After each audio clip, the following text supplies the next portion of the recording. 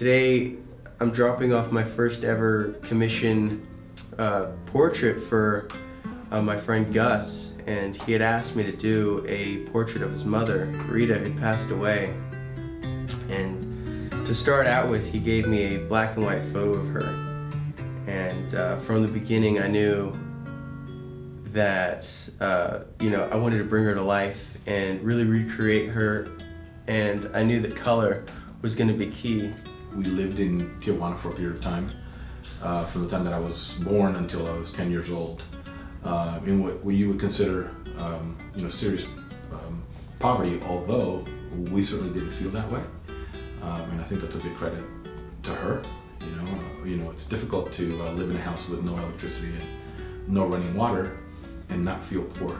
Uh, but we certainly didn't, and that had a lot to do with how she raised us and the type of environment that she created for us. She did a whole lot to empower a lot of the women around her, not just family members, but a lot of her friends. She was super, super positive.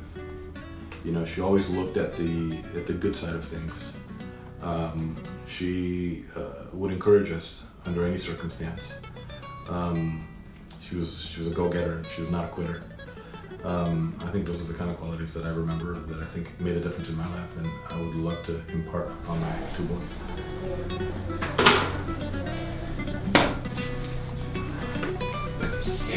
What's up, Dan? Hey, how's it going?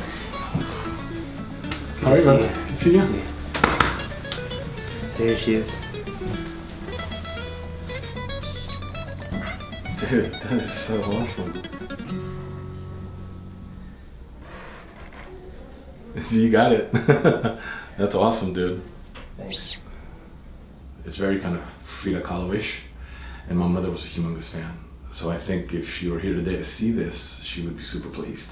The painting is inspired by Art Nouveau, and uh, I use illustrative shapes to create separate layers of dimension, which really add to the sense of her transcendence into, you know, from one world to another. And I surrounded her with traditional flowers that uh, you know represent belonging, remembrance, and celebration. Yeah. That is so great. No, you, you captured it, man. You did a great job. Cool, thank you. Great, great job. I love what you did. Yeah, it was a lot of fun. It was a lot of fun, man. Real honor, you know. This is the kind of thing that she would have just loved. Cool. You know, it was it was a picture, and then really the picture turned into kind of a concept for Josh, and he took it and you know went in a, in a different direction than the, than the actual picture. And so I, I, decided it would be really, really great to get copies of that done. I'll keep the original and give one to every single one of my family members, my, my siblings. So they will all be getting one, just kind of super cool. You knocked it out of the park. Thanks. Thank you. Like I said, man, it was an honor to do. Well, thank you. Yeah.